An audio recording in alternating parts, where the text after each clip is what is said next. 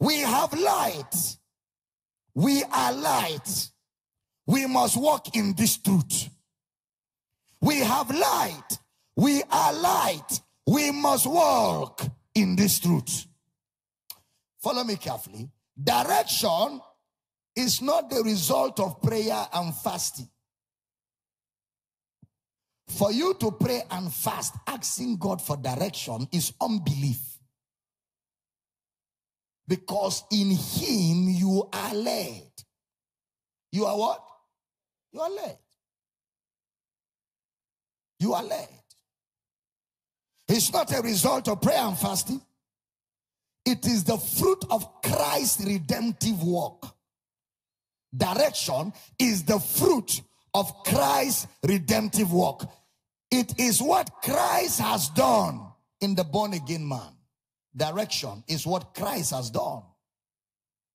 It is what Christ has done. And it is a function of the indwelling of the Spirit.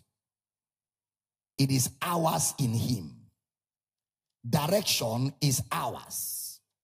Direction is ours in Him. The Father has bestowed blessings on us.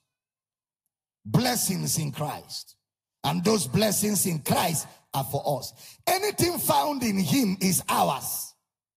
Anything found in Christ is ours.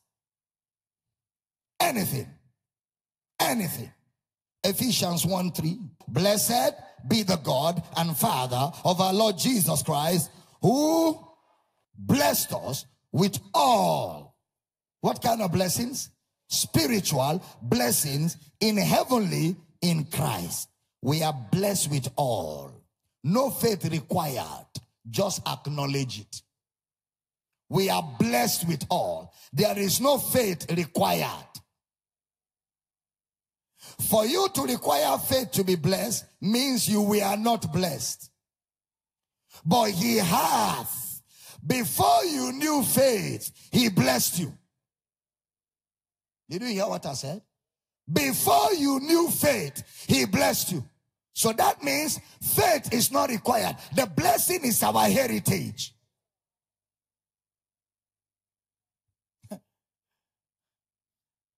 Only an ignorant man, after he is born, will pray for God to attach a nose to him. Only an ignorant man will be praying for God to give him nose. Your nose came with your birth. You don't pray for direction. It's like praying for nose when there is already one. Direction came with you at new birth. Listen carefully. Faith does not move God. Faith does not move God. How can faith move God? Is he a boy? God moved before faith came. It is the movement of God that gave us faith. Can I talk to somebody here? It was because God moved that faith came. It's the movement of God that gave us faith. Who is faith? Jesus, the author and the finisher of faith. It was the movement of God that gave us Jesus. For God so loved the world that he gave his only son.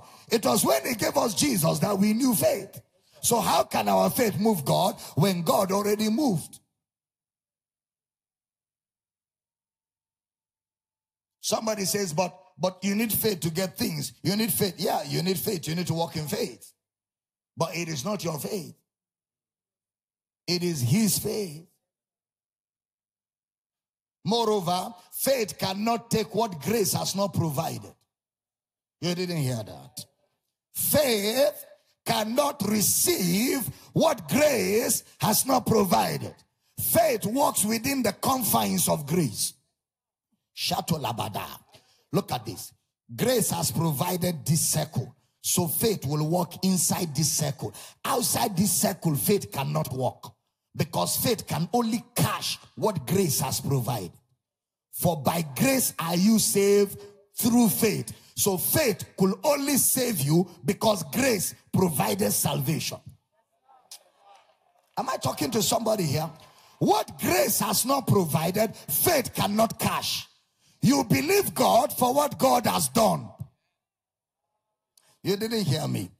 You believe God for what God has done. You don't believe God for what God has not done.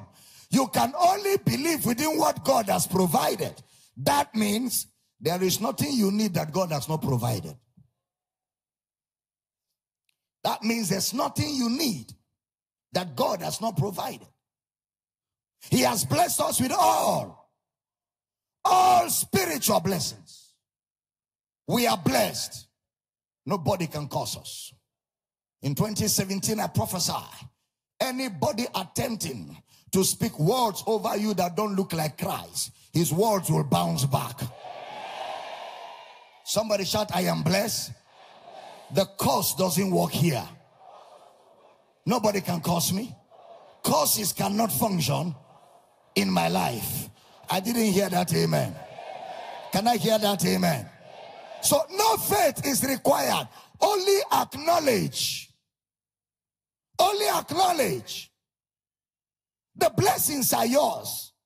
You don't need to fast for it. You acknowledge it. Now that word acknowledge is the Greek word epignosis.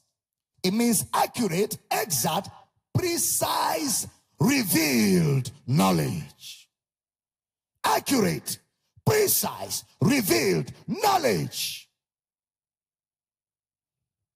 Philemon 6 that the communication of your faith may become effectual by the acknowledging of every good thing which is in you in Christ Jesus. By the acknowledging, your faith becomes effectual. Effectual when you acknowledge. Not when you pray for, but when you acknowledge. The acknowledging of every good thing triggers the effectual, the, the effectual working of your faith.